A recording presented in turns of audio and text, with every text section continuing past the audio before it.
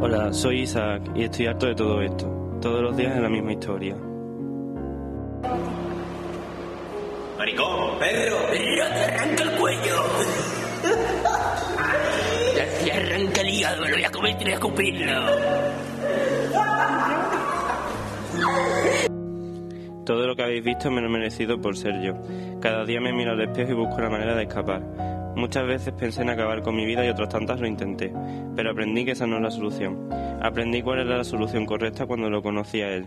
Tuve el valor de salir adelante. Cuando estoy con Cristian todo cambia.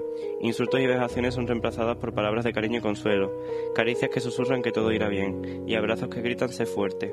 Sin embargo, cuando estoy en el instituto todo lo malo vuelve. Las amenazas, los insultos y las zancadillas. Todo eso que me es ya tan familiar. Mi novia ya me lo ha dicho. O lo denuncias tú o lo haré yo. Creo que es hora de hacerle caso y acabar con esta mierda.